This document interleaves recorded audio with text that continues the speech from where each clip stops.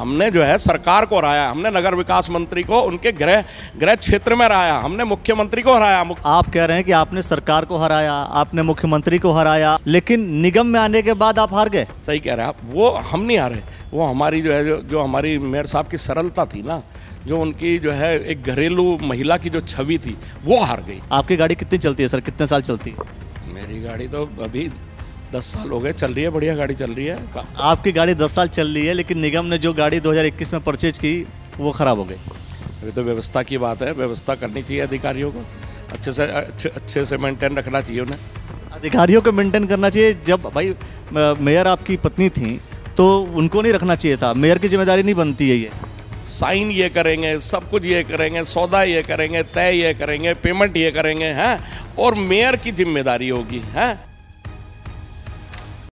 दोस्तों, आप सभी को नमस्कार। हमने हरिद्वार नगर निगम में जब घूमना शुरू किया तो वहाँ एक चीज़ देखी कि कुछ गाड़ियाँ थी, जो गाड़ियाँ 2021 में परचेज थी और रजिस्ट्रेशन उनका 2021 में था और वो गाड़ियाँ बिल्कुल ही ख़राब हो गई थी।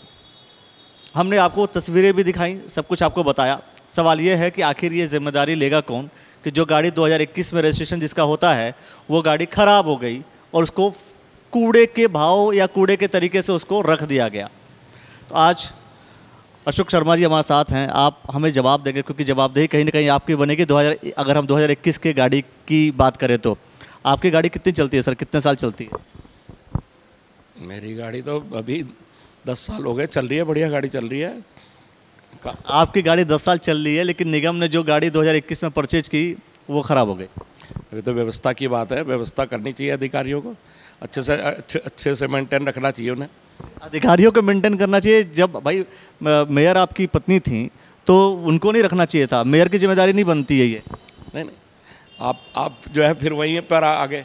अगर अगर सरकार हमारी कांग्रेस की होती ना प्रदेश में भी तब तो आप मेयर को थोप सकते थे ये बात कि भाई आपके कार्यकाल में ऐसा हुआ। लेकिन यहाँ तो सरकार जो है उन लोगों की थी जो जिन्होंने मेयर को पाँच साल पूरा दुश्मन समझ के रखा। यहाँ तो अगर मेयर साहब ने कहा इस ज़मीन पर कब्जा नहीं होना है तो इन्होंने कहा नहीं कब्जा करना है। मतलब हो, होता उल्टा है कि मेयर कब्जे कराती है और प्रशासन हटाता है। तो यहाँ तो प्रशासन और भाजपा सरकार जो है कब्जे करा रही थी और मेयर साहब हटा रही थी। ये आपकी आपके हिसाब से अगर सत्ता में अगर सरकार अगर बीजेपी की है तो मेयर बीजेपी का होगा तभी ज़्यादा बेहतर होगा। देखो आपके थियोरी के अनुसार मैं बता रहा हूँ। देखो ये तो कार्य प्रणाली पे है। कि कांग्रेस की अगर सरकार है तो मेयर कांग्रेस का होगा तभी काम हो पाएगा। किसी और दल का हो गया तो काम नहीं हो पाएगा। नहीं नहीं देखो ये तो कार्य प्रणाली पे है और क्रियान्वयन पे है है ना? अब क्रियान्वयन में ये ऐसा हमारी मेयर तो बहुत सरल थी। उसी का इन लोगों ने जो है नाजायज़ लाभ उठाया। इन लोगों ने तो यहाँ तक करा कि जो है मेयर साहब खड़ी रही और जो है अधिकारी बैठे रहे। तो ये तो भाजपा है। तो भाजपा के लोगों ने, भाजपा के नेताओं ने और बड़े बड़े नेताओं ने जो मंत्री थे, उन लोगों ने जब अधिकारियों को जो है डरा धमका के रखा कि आप लोगों ने काम उल्टा करना है जिससे मेयर साहब की बदनामगी हो। लेकिन मेयर साहब की तो बदनामगी आज कहीं नहीं मेयर को तो आज भी शहर में सबसे फ़र्स्ट गिन रहे हैं। उनकी तो मैं समझता हूँ, जितना इन लोगों ने मेयर साहब को सताया, उतना ही जो है एक अच्छा संदेश जो है, हर आदमी कहता है कि मेयर साहब ने पूरे कार्य किए और पूरा कार्य करने चाहे। लेकिन अब सरकार अगर गुंडागर्दी पे उतर जाए तो आप समझ, एक एक एक एक घरेलू महिला तो देखो, बात सुनो, हमारी जो मेयर साहब थी कोई ऐसी तो थी नहीं जैसी जो है इनके पास नेताएँ हैं इनके पास वो सारी नेता हैं बड़ी बड़ी नेताएँ हैं इनके पास। हमारी तो एक साधारण घरेलू महिला थी ना तो उसका इन लोगों ने नाजायज लाभ उठाया। मेरा मेरा सवाल ये है कि आखिर 2021 में गाड़ी खरीदी गई क्या बिना परमिशन के खरीदी गई होंगी मेयर के? नहीं ऐसा भी बहुत हुआ बहुत 2000 2000 2021 में देखिए बहुत एक नहीं आठ गाड़ियाँ हमने देखी आठ के अलावा भी बहुत सारी गाड़ियाँ देखी हमने, जो कि जो कि खराब होगी और एक गाड़ी की कीमत मैं समझता हूँ कि 10 लाख के आसपास होगी। हो सकता है कि कुछ अगर निगम परचेज कर रहा है, टेंडर दे रहा है तो पंद्रह का भी खरीदा होगा। गाड़ी, गाड़ियाँ उसमें, मेरे मेरे संज्ञान में है। गाड़ियाँ उसमें बहुत महँगी महँगी भी थी। लेकिन ये तो अधिकारियों की ज़िम्मेदारी है ना। देखो, बात सुनो। साइन ये करेंगे, सब कुछ ये करेंगे, सौदा ये करेंगे, तय ये करेंगे, पेमेंट ये करेंगे, हैं? और मेयर की ज़िम्मेदारी होगी, हैं? पेमेंट ये करेंगे, है ना? हम तो आपसे कहते हैं कि अगर जो है ना, हम तो पूरे जो पाँच साल हमारा कार्यकाल रहा, है ना, और आज भी एक साल और ऊपर हो गया।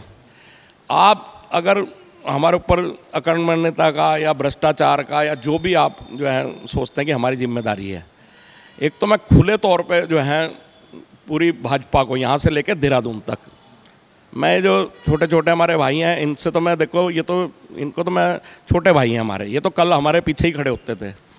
लेकिन मैं जो यहाँ के जो मंत्री हैं, विधायक हैं और देहरादून तक, एक चैलेंज करता हूँ मैं कि मेरी, मेरे बच्चों की, मेरी पत, मेयर साहब की खातों की जाँच हो जाए। सरकार इनकी है, यहाँ से लेकर ऊपर तक। अधिकारी इनके हैं और इनके पार्षद की भी जाँच हो जाए। मेयर साहब के खातों में से पाँच साल में पैसा निकला ही निकला होगा। हमने व्यक्तिगत तौर पे मैं अपने कह सकता हूँ मैंने कम से कम 25-30 प्लाट इस पाँच साल के कार्यकाल में अपने व्यक्तिगत बेचे हैं। और आप इन लोगों के पता करा लीजिए। मैं बड़े नेताओं का तो कहता ही नहीं बड़े नेता किसका किस किसका पता कराना है? हैं? भाजपा नेताओं के। मैं कह रहा ये लोग तो अकंठ आकंठ पूरी पूरी पूरी भाजपा। और जनता देखो कभी गलत नहीं करती। जनता को पता था कि ये लोग अच्छे लोग हैं और इसीलिए लगातार पहले तीन बार चुना जनता ने, दो बार निर्दलीय भी चुना, चौथी बार हमने हमने जो है सरकार को हराया, हमने नगर विकास मंत्री को उनके गृह गृह क्षेत्र में हराया, हमने मुख्यमंत्री को हराया, मुख्यमंत्री यहाँ तीन बार मीटिंग करके गए, मुख्यमंत्री मेरे गृह के वार्ड में आके सभा करके गए, हमने सरकार को हराया, सरकार को हराने के लिए कहीं ना कहीं हमारा जो कर्म है लगातार, कोई हम पहली बार नहीं जीते। भले हम छोटा चुनाव जीतते पार्षद का लेकिन हम लगातार 20 साल से जीत रहे हैं। तो हमारा कर्म देखे होंगे हमारा काम देखा होगा हमारी ईमानदारी देखी होगी। लगातार कोई देखो ए, एक तो जीतने को तो लोग पाँच पाँच सात सात बार भी जीत रहे हैं। कोई पैसा दे के भी जीत रहा है कोई गुंडागर्दी से भी जीत रहा है कोई जो है अपने आंकड़ेबाजी से जीत रहा है जो है फ़र्ज़ मतलब हेरा फेरी करके जीत रहा है। लेकिन हम लोगों ने तो हेरा फेरी नहीं करी। हमारी तो सरकार थी नहीं है ना? हम लोगों ने तो हेरा फेरी करने वालों को भी जो है चुनाव में हरा क्या है अभी आप, आप कह रहे हैं कि आपने सरकार को हराया आपने मुख्यमंत्री को हराया आपने बिल्कुल आपके विपक्षी वाले जितने भी तंत्र थे सबको हराया। लेकिन निगम में आने के बाद आप हार गए। निगम में आने के बाद आप हार गए। देखिए बात सुनो। आपके लॉजिक के अनुसार ही बात कर रहा हूँ। नहीं सही कह रहे हैं आप सही कह रहे हैं आप। वो हम नहीं आ रहे वो हमारी जो है जो जो हमारी मेयर साहब की सरलता थी ना जो उनकी जो है एक घरेलू महिला की जो छवि थी, वो हार गई। गुंडों के आगे वो बेइज्जत भी हुई, वो हार भी गई, क्योंकि आप देख रहे हैं, इनका तो भाजपा का तो आप देख ही रहे हो कि ये तो सब कुछ करके भी साफ़ है। चाहे अंकिता भंडारी का कांड हो, चाहे और कोई हो, और हमारे कितने ही लोगों को इन लोगों ने डरा के, धमका के जो है अपनी पार्टी में शामिल कर लिया, है ना? कई कई लोगों को, कई लोगों के ऊपर केस कर दिए, फिर वो कोर्ट से जीत गए, वो आ गए लेकिन हम लोगों के ऊपर ना तो ये कोई केस कर पाए, अगर हम होते तो जितना मैं समझता हूँ कि हमने इनका विरोध किया, जितना हमने इनका सामना किया, है? ये एक बार नहीं, हमको दस बार जेल भेज देते, दस बार केस कर देते। मैं चैलेंज करता हूँ भाजपा नेताओं को हैं? चैलेंज करता हूँ, अगर पाँच साल के कार्यकाल में, पूरे शहर में एक भी व्यक्ति ये कह दे कि किसी पार्टी मीटिंग के नाम पे, किसी कॉर्नर मीटिंग के नाम पे, किसी चुनाव के नाम पे एक पैसा मेयर साहब ने या मेयर साहब के परिवार में से किसी ने भी लिया हो। ठेकेदार ही नहीं, आम जनता से, व्यापारी से, ठेकेदार से, दारू वाले से, सट्टे वाले से प्रॉपर्टी डीलर से कोई एक पैसा भी कह दे। तो आप जो कहो हम सजा भुगतने के लिए तैयार हैं। अभी जब मैं रिपोर्टिंग कर रहा था उस दौरान विशाल गर्ग जी का स्टेटमेंट ये आया कि ये पुरानी गाड़ियों को रख करके नई गाड़ियाँ खरीदी गई इस वजह से ताकि पैसे की बंदरबाट हो सके। आरोप कहीं ना कहीं आपके ऊपर लगे। नहीं देखो उनकी बात पे मैं जाना नहीं चाहता लेकिन चलो हमने बंदर बांट करी। हम मानते हैं है ना? वो तो भाई है हमारा। उसकी बात में मैं जाना नहीं चाहता। तो भाजपा की सरकार ने मुख्यमंत्री ने राज्यपाल ने हैं और प्रधानमंत्री ने इन्होंने चूड़ियाँ पैर रखी इन्होंने। इन्होंने चूड़ियाँ पैर रखी क्या? और ये अधिकारी क्या कर रहे हैं? अधिकारियों ने क्यों नहीं रोक लगाई? एम एन बैठे हैं यहाँ पे। यहाँ पे कोई चपड़ासी नहीं बैठे एम एन जो है मेयर साहब के साथ। मेयर साहब तो उतनी पढ़ी लिखी सुनो। आपको आपको ये आपको मेयर साहब तो उतनी पढ़ी लिखी नहीं है। वो तो एक साधारण घरेलू में घरेलू महिला है है ना? उनको तो जो है परिस्थितियों बस आना पड़ा जो है राजनीति में है ना? परिस्थितियाँ ऐसी बनी कि पार्टी ने कहा आदेश दिया हमने निभाया। लेकिन ये आई ये आई भ्रष्ट हैं। क्या हम ये पूछना क्या क्या नीचे से लेके उस फ़ाइल पे 20 अधिकारियों के हस्ताक्षर हैं या नहीं है? मेरा सवाल ये भ्रष्ट हैं। वो हमें हमें हमें तो हमें तो जब मेयर साहब ने ईमानदारी की बातें करते हुए तमाम ठेकों पे तमाम बातों पे रोक लगाई तमाम जो है जो विज्ञापन के जो है आप ये होर्डिंग देख सकते हैं। महीनों महीनों अखबार में छपा है। महीनों महीनों। और जो अपने ईमानदार पत्रकार थे, उनको यहाँ से तबादला झेलना पड़ा। और अधिकारी ये कह रहा, जब हमने उनको बात उठाई, कि मेयर साहब, आपने तो ऊपर शिकायत कर तो दी मेरी तो उन अधिकारियों की कितनी हिम्मत होगी कि जो अधिकारी ये कह रहा है, और उसमें साक्ष्य हैं, सब कुछ है, कम से कम दस करोड़ रुपए का घोटाला जो है, जो विज्ञापन के जो बोर्ड लग रहे हैं, इसमें है। हैं? और सुनिए। मेरा सवाल मेरा सवाल। और अधिकारी क्या कह रहा है? मेरे सामने स्वयं मेयर साहब को मुझे नहीं मेयर साहब को कि आपने मेरी शिकायत ऊपर कर तो दी है। तो आखंड बिल्कुल भ्रष्टाचार में नीचे से लेकर ऊपर तक पूरी सरकार डूबी हुई है। मेरा मेरा सवाल यह है भ्रष्टाचार में आपके हिसाब से डूबा हुआ प्रशासन है? बीजेपी नेताओं के हिसाब से डूबे हुए आप हो सकते हो प्रशासन भी हो सकता है सब चीज़ें हैं। लेकिन मैं ये कह रहा हूँ कि जो पैसा है वो तो जनता का है। पैसा जनता का है, इसके बावजूद ये जो नुकसान हो रहा है, गाड़ियों के रूप में या सड़कों पर अगर कूड़े हैं उसके रूप में तो इसकी ज़िम्मेदारी किसकी बनती है? और क्या ये सही है कि इस तरीके से चीज़ें चलती रहें? आप कोई गाड़ी खरीदिए, तीन साल तक, चार साल तक वो गाड़ी चले ना, और चार साल में गाड़ी खराब करके आप सड़क पे फेंक दीजिए, ये आपको उचित लगता है? नहीं, बिल्कुल गलत है ये। लेकिन जाँच करेगा कौन? जाँच तो सरकारी करेगी ना। जब मेयर साहब की दस लेटर लिखे हुए, उन पर आज तक कुछ नहीं हुआ। है ना? आपको क्या प्रूफ चाहिए? आप आप कह रहे मेयर साहब, आप सबूत दो। अरे फ़ाइल आपके सामने पड़ी है। फ़ाइल में ठाओ और सबूत ढूंढ लो और बाकी हमारे से पूछ लो। अरे, यहाँ इस नगर निगम में तो हमने यहाँ तक देखा कि एक अदना साहब बाबू भी नोट कर रहा है उसमें। कि जो है नियम में ये ऐसा नहीं है और ऐसा है। उसके बावजूद उन शर्तों का नज़रअंदाज करके और अधिकारी जो हैं फिर साइन कर रहे हैं। हैं? तो इसका मतलब कहीं ना कहीं सरकार का जो है इन्वॉल्वमेंट है। सरकार का उनको खुली छूट दी हुई है कि आप करो हमें माल दो आप कुछ भी करो हमें माल दो। नगर निगम में जो कूड़ा सड़कों पर होता है या जो कूड़ा खुले में होता है उस उसको गाय खा रही हैं। उसको गाय खा रही है। इसकी ज़िम्मेदारी कौन लेगा? गलत है। गलत निगम प्रशासन की या नगर निगम के मेयर की ज़िम्मेदारी नहीं बनती है? नहीं देखो बात सुनो जब तक वो थी तब तब तक तब तक गाय नहीं खाती थी कूड़ा? तब तक बहुत ज़्यादा रोक लगी हुई थी बहुत ज़्यादा। उस समय की स्थिति में और आज की स्थिति में ज़मीन आसमान का अंतर है। आज जगह जगह नए नए कूड़े के ढेर लग गए हैं। बड़े बड़े जो है स्थानों पे जो है सुबह से लेकर शाम तक।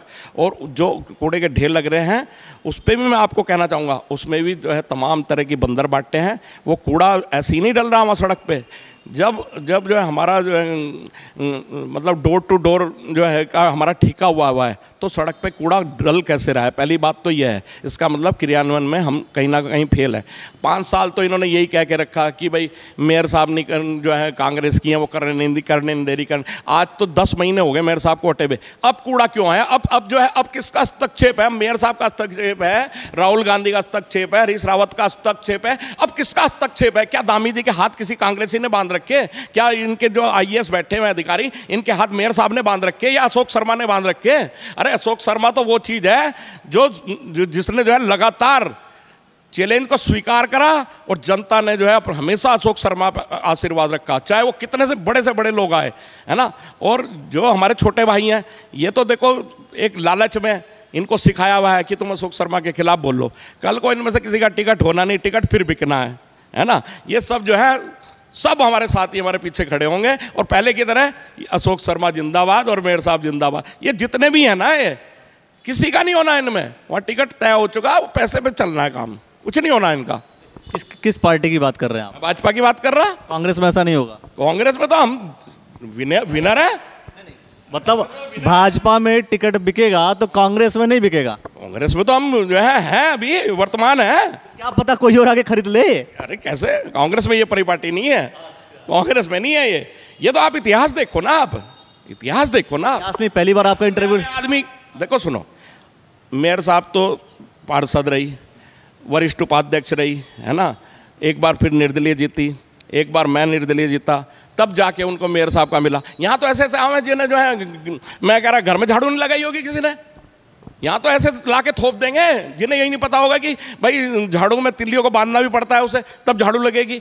यहाँ तो महाराज कलाकार हैं, यहाँ यहाँ तो। मैं कह रहा, मैं नीचे से ऊपर तक चैलेंज दूँ, मैं तो कल ही अभी पखवाड़े की जो है, एक देख रहा था वीडियो रील, उसमें जो है मेरे ख्याल इतना ही बड़ा जगह थी, उसमें बीस आदमी झाड़ू लगा रहे अरे कभी हमारा देख लेना, कभी कार्यक्रम, हम भी करते हैं। हम भी सफ़ाई अभियान चलाते हैं। और दस मिनट में, इतनी सी जगह में, और बारह आदमी झाड़ू लगा रहे तो ऐसे ऐसे स्वच्छता पकवाड़ा बनता है। स्वच्छता पकवाड़ा हम बनाते हैं, महीना महीना बनाते हैं, अपनी जेब से पैसा लगाते हैं, अपनी जेब से कूड़ा उठवाते हैं, और स्वयं खड़े रहते हैं पूरे के पूरे दिन। ठीक है, देखिए एक सबसे बड़ी बात कि जब नौ दस महीने हो गए हैं, नौ महीने तो इसके बाद ज़िम्मेदारी प्रशासकों की है। प्रशासक ने पूरी ज़िम्मेदारी अपने हाथ में ले ली है। और इसके बाद अगर कोई अव्यवस्था फैल रही है तो क्या प्रशासक, मेयर के ऊपर आरोप लगा सकते हैं? या वो खुद कहेंगे आकर के कि जो कूड़ा फैला है, जिसमें गायें कूड़ा में से अपने लिए खाना खाने की कोशिश कर रही हैं, इसके जिम्मेदार हम हैं। अधिकारियों के पास जो पैसा आता है, गायों के लिए चारा की व्यवस्था करना, बाकी सारी व्यवस्थाओं के लिए, क्या वो पैसा एक्चुअल में गायों के लिए लगता है? ये भी अपने आप में सवाल है। कौन है दोषी? और किसको आप बरी करेंगे, वो आप कमेंट सेक्शन में हमें ज़रूर बता दीजिए। और ऐसे ही रिपोर्टिंग करते रहेंगे ग्राउंड की रिपोर्ट्स आपको बताते रहेंगे, देखते रहिएगा द न्यूज़ वाला नेटवर्क धन्यवाद।